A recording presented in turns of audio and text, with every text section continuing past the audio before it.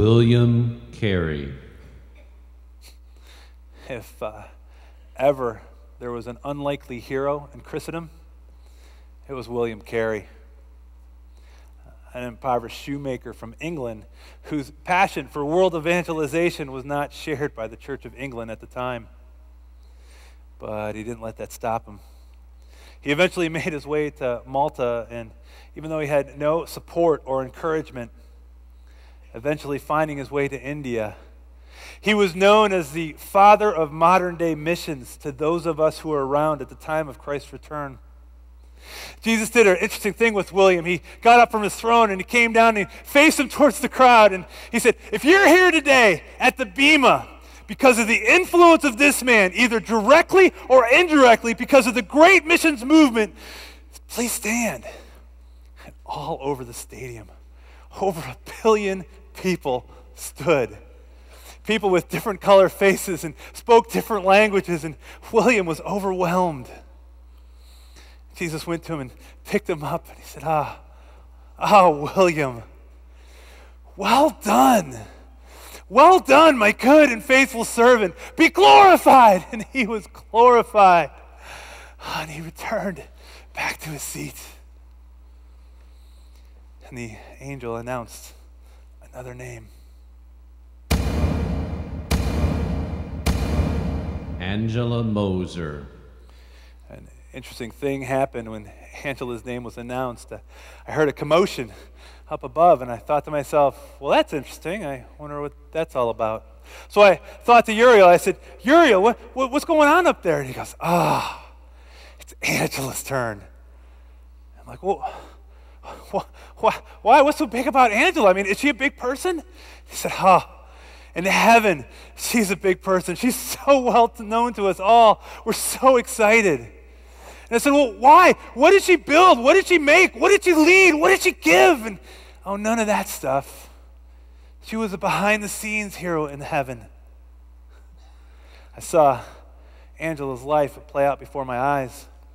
She had remained single by choice to care for her invalid sister and her aging mother. She'd taken care of people in the church who were less fortunate than her, serving behind the scenes. But what she was really well known for in heaven was her prayers. Ah, this woman prayed. She prayed for her church. She prayed for the ministry of her church. She prayed for the lost in her area of influence. She prayed for her pastor. She prayed with the sick. She prayed without ceasing. And they made such a big deal of it at the Bema. Jesus literally leapt off his throne and ran down to her and threw his arms around her and said, Ah, Angela, I'm so proud of you. Well done, my good and faithful servant. Be glorified. Oh, and she was glorified and she was radiant, full of joy. And I thought to myself, wow, prayer really does matter. I, I should have listened to Pastor Mark. I mean, he talked about it, he told us that if I could go back, if, if I could do it again, I would pray more. Because at the Bema seat of Christ, prayer makes all the difference in heaven. The angel came to the front of the platform again.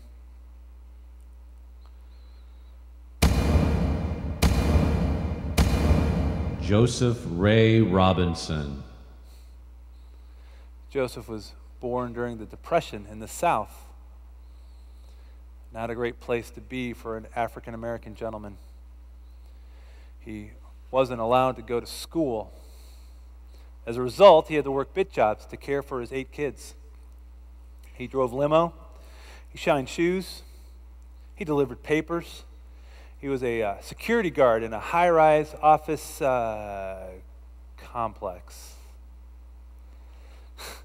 it's, it's Joe. Joe, the security guard. I didn't recognize him at first. I saw his life played before my eyes, and I was humbled. He didn't become embittered at the school district's refusal to let him go to school, but rather he taught himself to read by reading the New Testament. In fact, he had memorized over three fourths of the New Testament. He understood that the Bible, God's Word, was a double edged sword. And so, as a result, he would tell everyone he came in contact with a Bible verse. I, wasn't the only one. Jesus turned Joe towards the crowd and said, If you're here tonight at the Bema because of his influence, please stand. As I looked around the crowd, I recognized over a hundred people from my office complex. And I thought, this guy who annoyed me this morning, I wonder, am I worthy to even shine his shoes here in heaven? And Jesus said, Ah, Joe, well done, my good and faithful servant. Be glorified. Oh, and he was changed and he returned to his seat radiant. And the angel pounded again.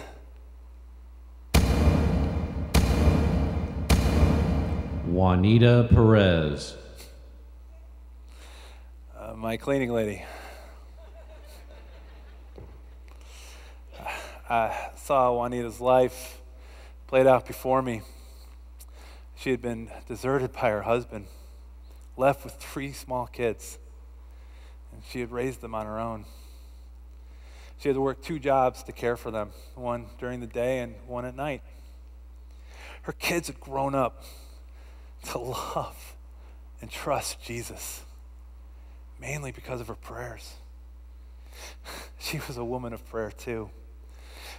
The Lord allowed me to see how much she had prayed for my kids. And then He showed me the impact that her prayers had had on my kids' lives. And it came to me that she had a greater impact on my own kids than I did. I was humbled. This woman who I wouldn't even look in the eyes this morning, I wondered, am I, I want to spend a thousand years with tonight in heaven. And Jesus said, Ah, oh, Juanita, well done, my good and faithful servant. Be glorified. And she went back to her seat, leaping and dancing and praising God. And everyone in her whole section was so excited. And I looked around the stadium. I could see that it was uh, three fourths lit up. And I thought, well, my turn's got to be coming soon. And sure enough, after a couple hundred thousand more names, the angel came to the front of the platform.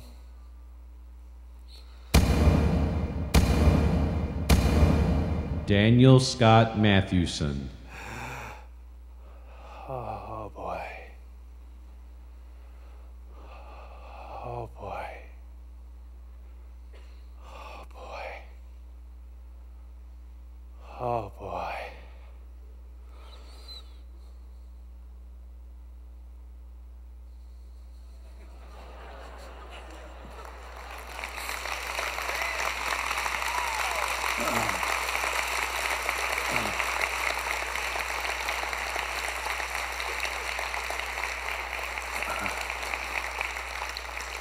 Well, this, uh, the story is a little too long to tell in one setting. Sorry about that. It's just going to have to come back. uh, next week, we'll see played out before us the uh, Bema Seat judgment of Daniel Scott Mathewson. I want you to be prepared. You may see yourself there. Here's how you can prepare your heart biblically this week. I want you to take time to read the following passages. It will give you a theological grounding for uh, the Bema seat. 2 Corinthians uh, chapter 5, 1 Corinthians 3, uh, Romans 14, and Matthew 5, 6, and 7. They're going to leave this slide up so you can write them down as I talk. But in those texts, you will see Paul describing the Bema seat of Christ, and you will also see Jesus' teachings on rewards and, and what kind of things we're going to be rewarded for at the Bema seat. And it will prepare your heart to what God might have to say next week through the drama.